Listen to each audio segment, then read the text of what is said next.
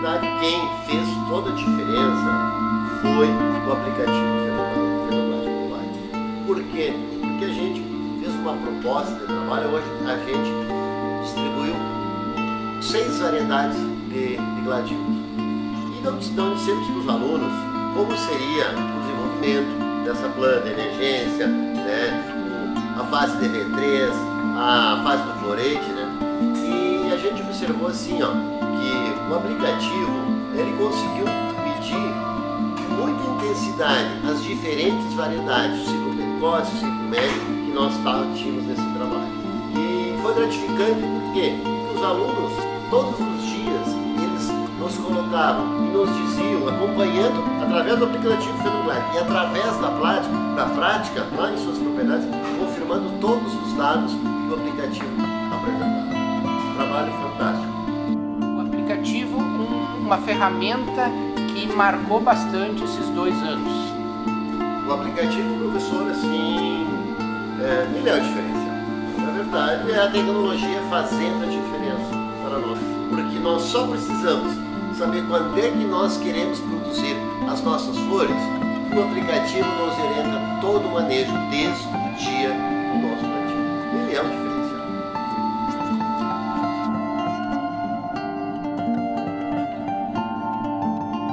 Fenoglade está novamente no município de Júlio de Castilhos, no Rio Grande do Sul. O projeto Flores para Todos iniciou em 2018 e em 2019 completou o segundo ano, atingindo 55 municípios dos três estados do sul do Brasil, 67 famílias de agricultores familiares e 10 escolas do campo. E aqui é onde a gente está hoje, janeiro de 2020, é a área didática experimental da Escola Estadual de Ensino Fundamental Nossa Senhora Aparecida, do município aqui de Júlio de Castilhos. E o diferencial dessa escola é que foi a primeira das dez escolas que participaram do projeto Flores para Todos nos primeiros dois anos. Então, nós estamos aqui hoje para fazer uma avaliação junto com o diretor da escola, o professor José Alencar, para fazer um, uma avaliação, um balanço dos dois primeiros anos do projeto Flores para Todos na escola.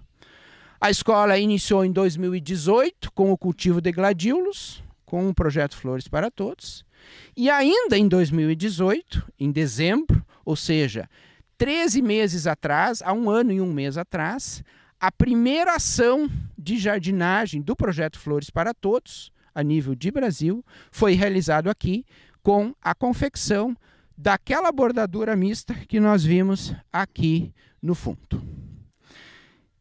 Muito bem, então nós vamos agora então conversar com o professor diretor da escola para a gente ter uma avaliação da equipe diretiva sobre como foi é, o projeto Flores para Todos nos primeiros dois anos aqui na escola.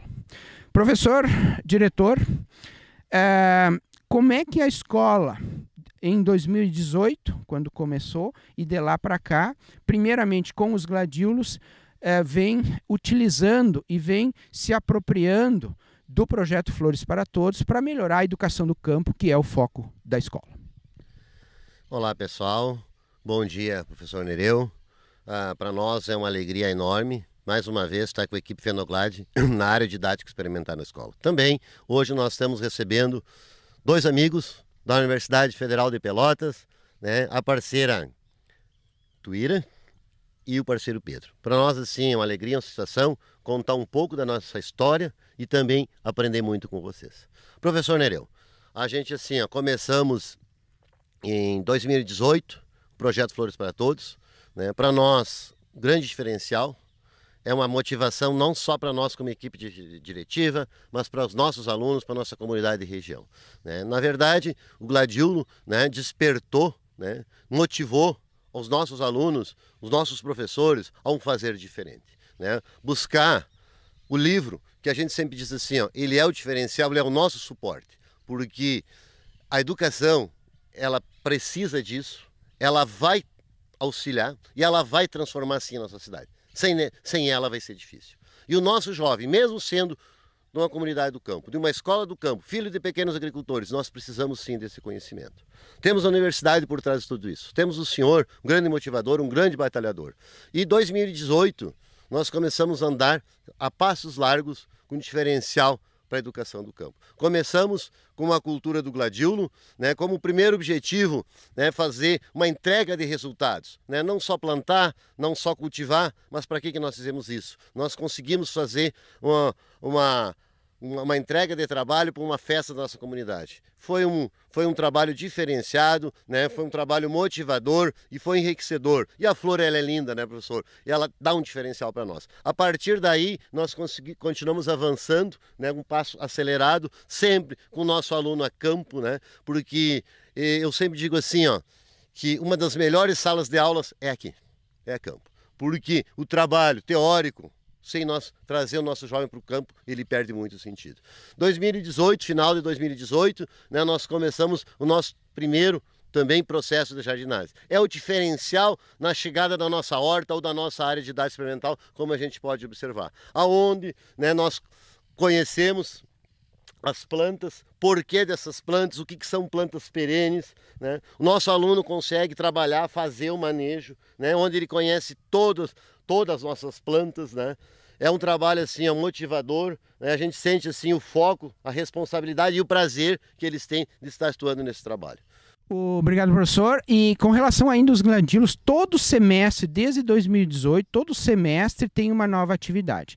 Agora, no segundo semestre de 2019, é, foi uma, uma atividade diferente do que vinha sendo feito. O que, que foi feito no segundo semestre para terminar o segundo ano do projeto Flores para Todos uh, aqui na escola? Sim, professor. A gente vem, né, como nós colocamos no início, né, a gente vem fazendo um trabalho desde 2018 na cultura do gladilo. O primeiro objetivo era conhecer. Né? Conhecemos a planta, conhecemos o ciclo, conhecemos variedade e, acima de tudo, né, o nosso desafio conhecer o aplicativo Fenoglade, né, que ele nos auxilia muito, ele é o diferencial. Começamos sim trabalhando para fazer a ornamentação das festas da nossa comunidade, onde nós temos três comunidades onde os nossos alunos vêm até a nossa escola, né? onde esse trabalho é desenvolvido, é coordenado por eles mesmos. Eles trabalham, né, usam o aplicativo no final do semestre ou no, na época do evento, eles entregam o resultado para a comunidade. E, claro, no encerramento do ano de 2019, a gente propôs um desafio para os nossos alunos, aonde cada aluno deveria levar para a sua propriedade né, quatro bulbos né? E eles deveriam fazer sua, seu preparo de solo, sua correção de solo, sua escolha de lugar né? e o controle do início ao fim. Né? Foi um trabalho assim, muito fantástico, onde todos os alunos conseguiram desenvolver o trabalho. E ao final, como culminância dessa atividade, eles deveriam trazer as hastes que eles, tinham, eles produziram em sua, em sua residência. Né? Então, além de nós ah, fazer com que o nosso aluno andasse sozinho na atividade, para mostrar que realmente ele buscou um conhecimento, ele oportunizou também a família para acompanhar esse trabalho. Foi fantástico, assim, gratificante, não só para nós como escola, mas acredito para toda a comunidade.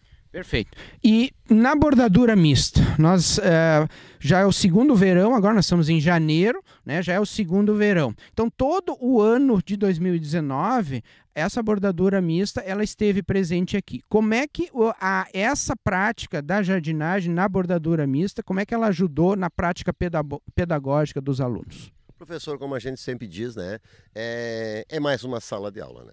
Então, o aluno ele aprende a ter responsabilidade, onde o manejo é ele, é ele que faz, né? Então ele vai conhecendo, ele vai se envolvendo, né? Porque não é uma borda mista da escola, é uma borda mista dele também. Então, ah, pelo fato dele se apropriar dessa atividade, né, que é um diferencial realmente, assim, ó, ele, ele começa a ter prazer, né, ter paixão pelo que está fazendo. Pode ver, se nós observar assim, ela está muito bem cuidada, ela está muito bem observada e o mais importante de tudo é o conhecimento que o aluno conseguiu adquirir em relação a essa atividade também.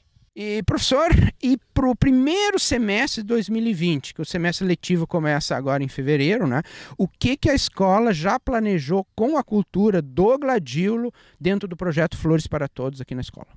Professor, nós já estamos, já está no nosso planejamento, né? O início agora em fevereiro, o uso do aplicativo Fenoglade. Nós já estamos, né, professor, com os bulbos, né? Ah, para começar nossa atividade. São cinco variedades que nós vamos desenvolver para algumas atividades que também já estão sendo pensadas. E também, professor, além da atividade com a cultura do gladiolo, nós já estamos com quatro atividades sobre a cultura da mandioca sendo desenvolvido com uma parceria da universidade e duas que são responsabilidade da própria escola. Nós temos uma com o professor André, com o manejo de plantas daninhas. Nós temos uma outra com a equipe Simani Hot, que é com as variedades de mandioca. Nós temos 13 variedades de mandioca, estão em pleno desenvolvimento. Nós temos uma, um outro grupo de mandioca que ela é destinado à doação. Nós fizemos um trabalho para entidades assistenciais, trabalhamos com o Estatuto do Idoso e também a gente faz alguma coisa. E também nós já estamos com a nossa outra parte, que é para nosso destino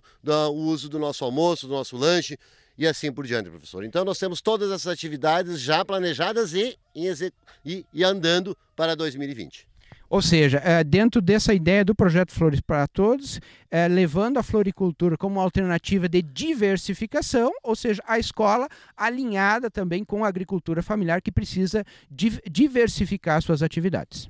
Correto, professor. E além disso, né, professor, nós temos, a, vamos dar continuidade ao nosso trabalho com o projeto Floricultores, além do Gladiolo. Nós temos o nosso trabalho com o Jardim Interno, já estamos pensando em uma outras alternativas. Nós temos a nossa borda mista que está andando, porque são plantas e elas precisam de cuidados, né, precisam de manejo. E os alunos, professor, eles vão passando, está chegando alunos novos e eles também precisam adquirir esse conhecimento. Então, a escola é um processo que não para. Vai se renovando a clientela, mas alunos sempre vamos ter na escola.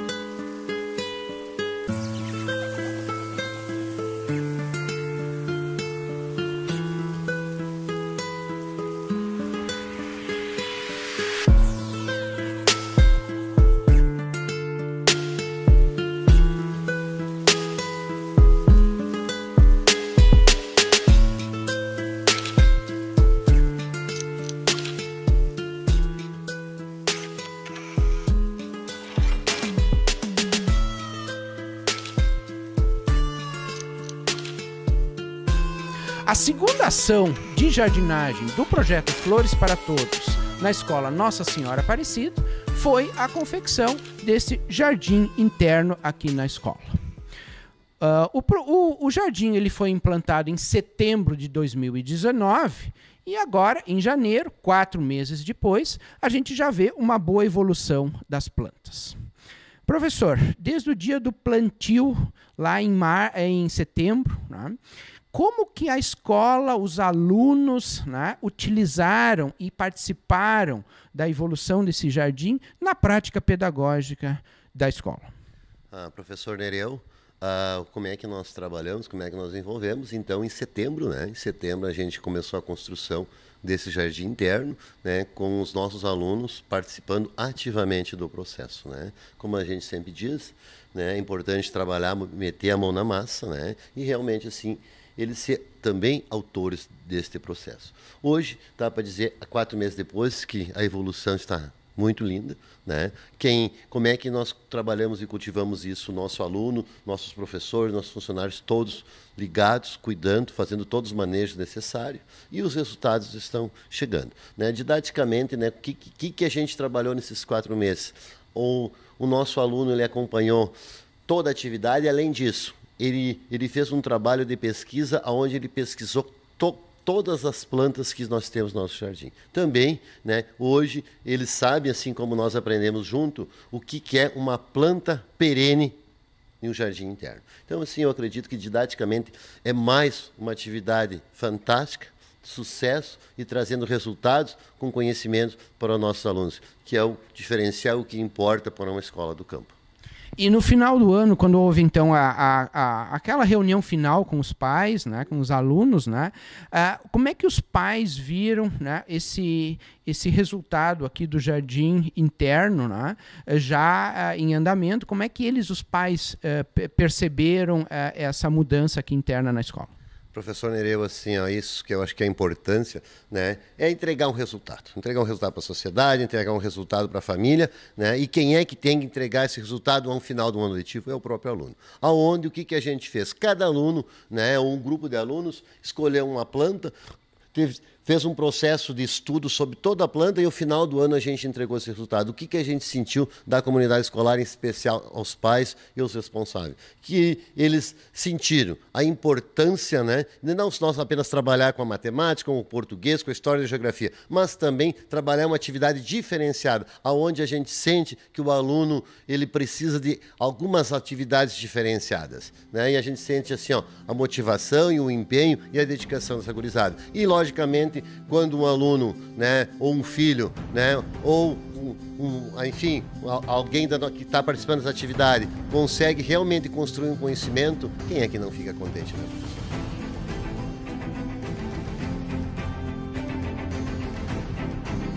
A energia, o entusiasmo e o trabalho intenso e contínuo de professores, funcionários, alunos e pais de alunos em prol da comunidade fazem da Escola Estadual de Ensino Fundamental Nossa Senhora Aparecida um exemplo para o Brasil.